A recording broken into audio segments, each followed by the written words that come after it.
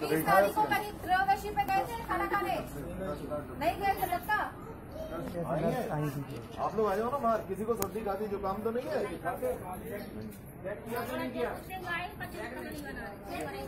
क्या हुआ नहीं कोई सवाल भी नहीं पूछा क्या? सिर्फ़ लिख के चले गए क्या? कितने लोग हैं? पंद्रह बीस लोग हैं। पंद्रह बच्चे बूढ़े सबको मिला के। किसी को सर्दी खांसी बुखार नहीं है। और ये बीस तारीख के न्योते में गए थे सही से बताओ। ये खर्च का नौता जो तेरहवीं हुई थी ना तेरहवीं में उसके रजक के यहाँ गए थे? नहीं गए थे। यहाँ से कोई गया था तुम्हारी कॉलोनी से या गली से? गली से कोई नहीं गया था? कभी से कोई नहीं गया।